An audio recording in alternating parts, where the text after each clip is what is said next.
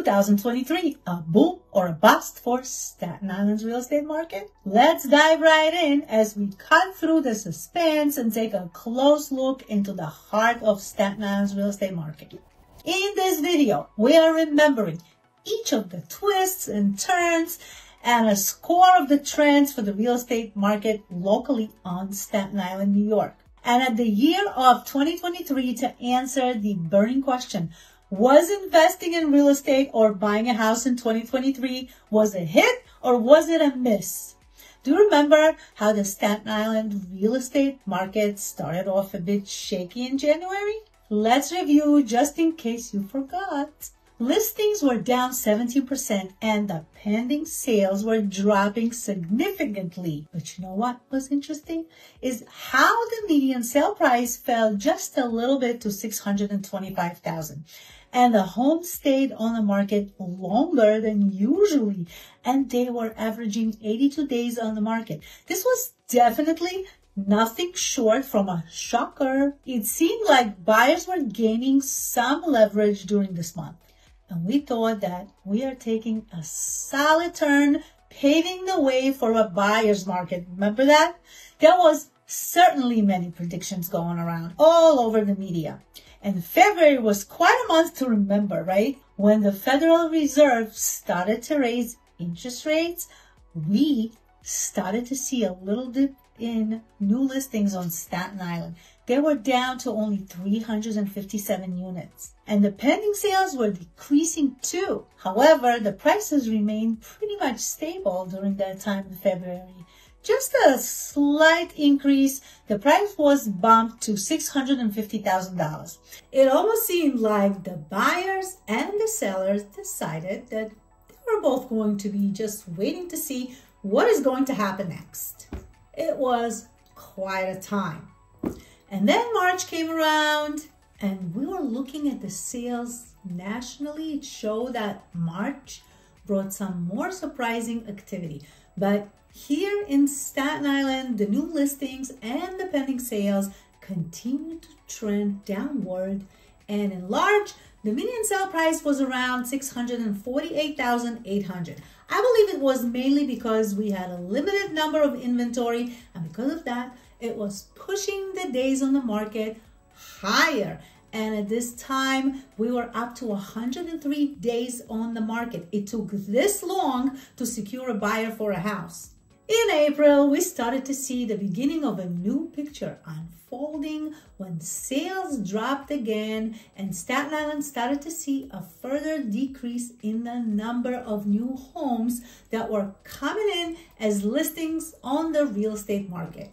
The median sale price in April started to dip and it was showing up as $622,999 and the houses were taking even longer to sell during the month of April. It was clear that the fluctuating mortgage rates are making buyers very hesitant and wondering whether they should stop and take a pause and see if it's even a good idea to buy or just wait and see what happens. Well, we're going to find out if it was a good idea or not. This is the big question we are revealing today. Now, May came and we started to notice that existing home sales are sliding again nationally.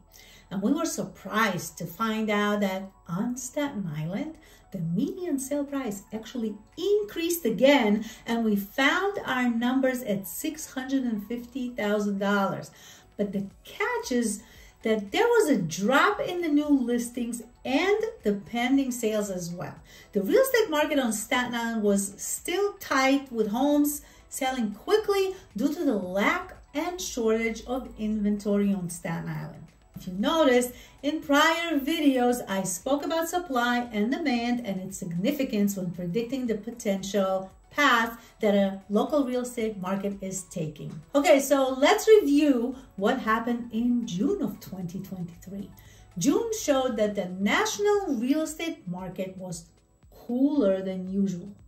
On Staten Island, the new listings and the pending sales were down as well, but there was a slight increase in the month's supply of inventory, and it was kind of like a mixed bag of confusing scenarios because the median sale price increased to $660,000. This really was getting out of hand. It was starting to be very confusing. It was challenging to make sense the distinction between the national numbers and the data in comparison to Staten Island real estate market was completely swinging in different directions. And then July came with the higher mortgage rates. It seemed like a lot less people were listing their homes and a lot of buyers already started to part ways with the idea that they will be buying a house anytime soon or even ever. Sales here on Staten Island started to fall, but then the median sale price in Staten Island climbed a little bit by like $8,000, showing $668,000 as the median home sale price.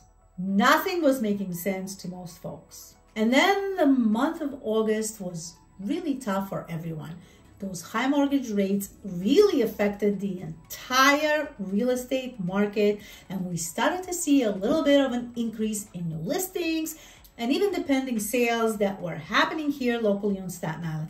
But the inventory levels kept falling and because of that, the median sale price increased again from $668,000 to $680,000 and it was showing that the market was still competitive. So in September, nationally, they were showing that sales were hitting a seven month low, but not here on Staten Island. The real estate market seemed a bit more stable. Right here, the median sale price was up again by $6,500, making it at 686,500 median sale price. And this was despite the overall challenging conditions that we've been seeing happening all over the country. In relation to less inventory and high interest rates, it shocked everyone. I'm telling you, Staten Island is something else. The downturn in the US markets were showing cracks, while on Staten Island, we saw a teeny weeny, but still an increase in new listings and pending sales, and we kept pretty steady on the sale prices. And it sounded like the real estate market was trying to find its spot. Really kind of just came under the previous median sale price and we found ourselves at $665,000. So here we are in November and sales nationally really slowed down. Wow. And then Staten Island real estate market follow the trend, but pay attention closely. We followed the trend with a decrease in the number of listings and the number of the pending sales. But listen to this, the median sale price actually reached to 700,000 in November, which was a huge jump from the month before. Overall, Staten Island's real estate market in 2023 was a roller coaster. Now, I personally don't like roller coaster. Don't take me to Coney Island or anything like that. It makes me dizzy. It was mirroring the national trends to some extent, but it was really different. We have seen a general decrease in the number of listings coming onto the market and because of that, it's reflecting the decrease in the number of pending sales and of course, the crazy increases of the mortgage rates during 2023 alone. So month by month, it was kind of fluctuating, but generally it was increasing. The median sale price throughout the year was more up than down.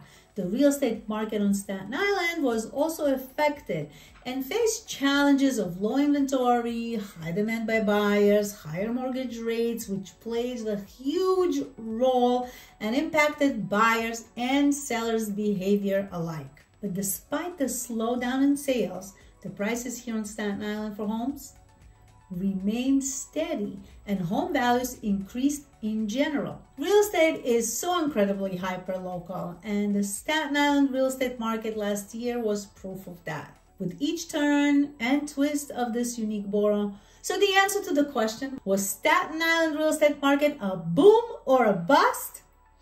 All in all, property values on Staten Island had increased by 12% total. That's like a three years were squeezed into just one remarkable real estate market. So don't forget to hit that subscribe button and give us here a like if you found this insight valuable and as fascinating as I did, except that roller coaster, right?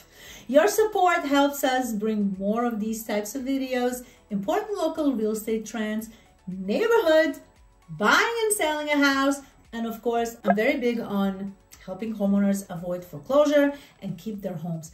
Thanks for watching and I will see you on the next video. I want to wish you a happy new year to you and your family. May this year be full of happiness, peace, joy, abundance, and home ownership.